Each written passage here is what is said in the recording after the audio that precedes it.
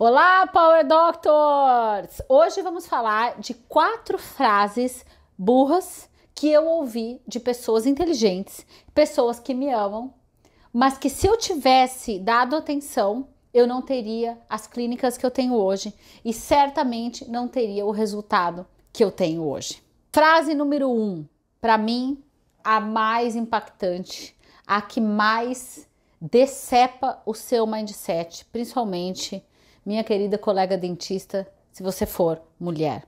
Essa frase ela decepa a sua mente. A hora que falam essa frase para você, a sua mente ela fica assim travada, ela trava, você não nenhum raciocínio mais anda, você não enxerga mais nada, você fica cega e você larga tudo que você está fazendo e você trava e o mundo inteiro para e você simplesmente trava. Essa frase é a seguinte: você deveria se dedicar mais aos seus filhos. Essa frase, meu bem, ela é devastadora se você é mãe, se você tem filhos, porque ela vem com um véu de culpa para cima de você. Do tipo, como se qualquer coisa que você fizesse para o seu crescimento profissional, qualquer movimento que você fizesse para ampliar o seu consultório, qualquer curso, qualquer momento em que você vá pensar em como crescer na sua vida profissional, você tivesse tirando isso do seu filho para dar para você e você se torna o ser mais egoísta do universo. Por isso, minha amiga dentista, minha colega dentista, essa frase é uma grande mentira. Ela é uma, mentira deslavada, criada intencionalmente para te controlar, criada intencionalmente para fazer você desistir dos seus sonhos, para fazer você desistir do seu crescimento, para socavar a sua insegurança, para pegar aquela pouca insegurança que você já tem ou aquela insegurança grande e deixar coberta de insegurança, de medos. E você vai ficar a vida toda bem quietinha, rezando para que tudo dê certo. E achando que então por isso você vai ser uma boa mãe. Pois eu tenho uma novidade sobre ser uma boa mãe para você. É importante estarmos com os nossos filhos? Claro que é. Mas você consegue, você pode dosar o seu tempo. E mais do que isso, tem um estudo de Harvard que eu vou deixar escrito aqui para você, te mostrando que comprovou que as crianças que são filhas ou filhos de mães que trabalham tendem a ser mais felizes e mais bem-sucedidas. A literatura de psicologia infantil é ampla e vasta, dizendo que é fundamental nós termos qualidade de tempo com as nossas crianças e não quantidade de tempo. Quantas mães você conhece? Eu sei que você conhece e comenta aqui se você conhece alguma, claro que não marca essa mãe, óbvio, que é mãe tempo integral e que tem um tempo desqualificado com o seu filho, que ela tá sempre frustrada, ela tá sem paciência. Às vezes a gente vê isso dentro dos nossos consultórios com as mães dos nossos pacientes, aquela mãe exausta de ser mãe tempo integral. Quem disse que ser mãe tempo integral te coloca num patamar de uma mãe mais qualificada? As, as, pesquisas de psicologia comprovam o contrário, que as mães que são felizes, que são bem-sucedidas, que trabalham, essas mães conseguem ter filhos muito mais realizados e felizes dentro de casa.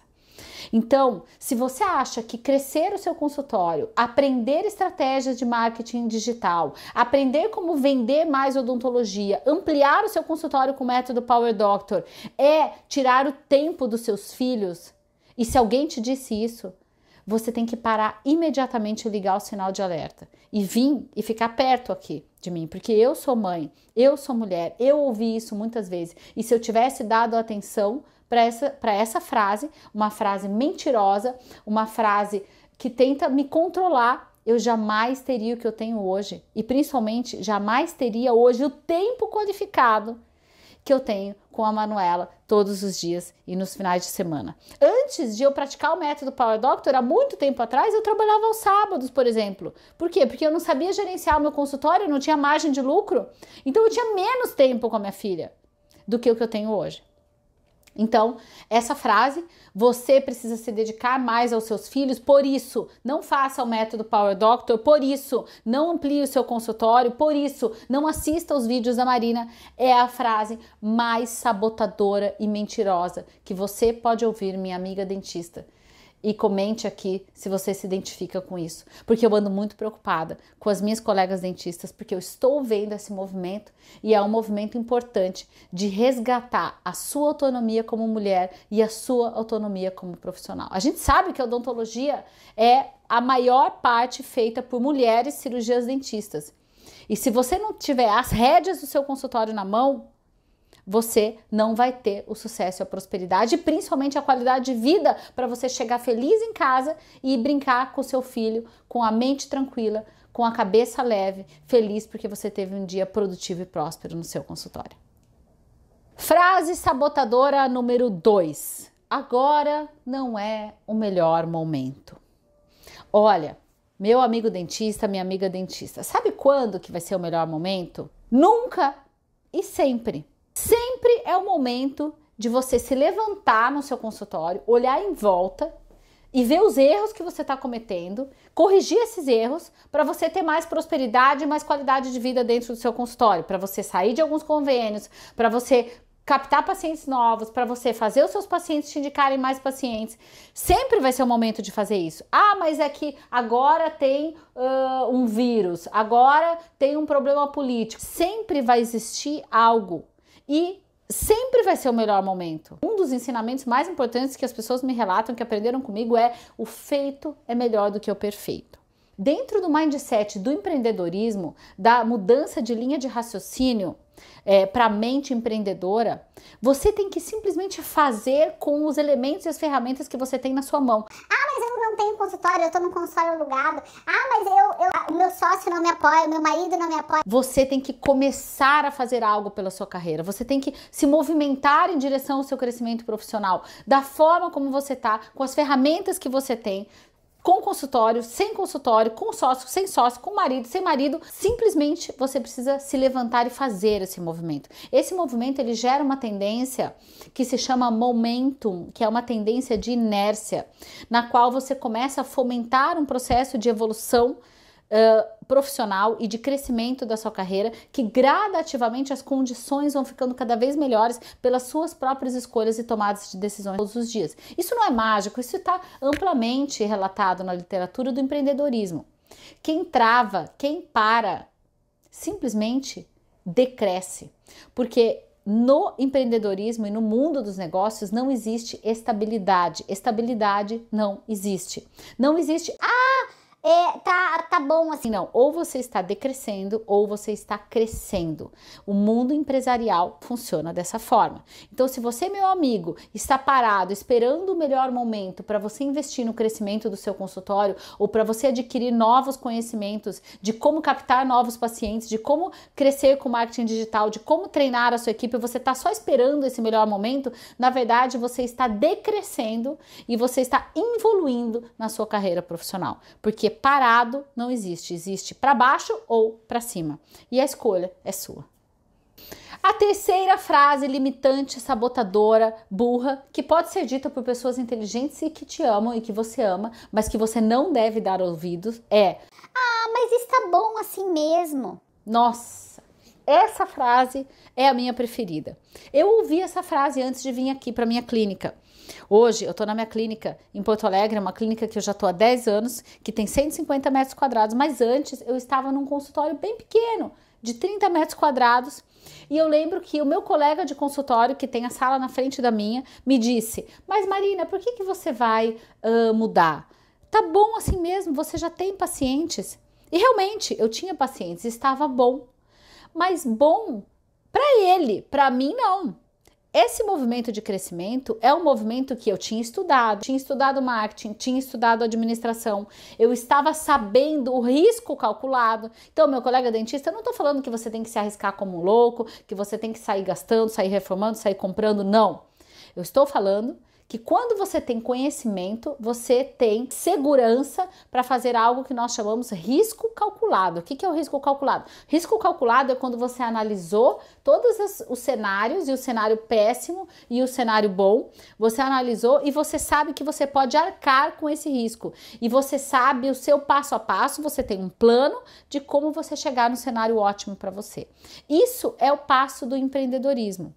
Não existe estabilidade, mas e não existe crescimento sem movimentação. E não existe felicidade sem crescimento. Para mim, crescer é ser feliz. Se eu sei que todos os dias eu plantei algo a mais, eu plantei algo novo, eu prospectei novos pacientes, eu vendi tratamentos de uma maneira mais valorizada, eu dividi um conhecimento com algum colega, que eu plantei um crescimento no consultório de algum colega, eu durmo feliz porque eu plantei crescimento.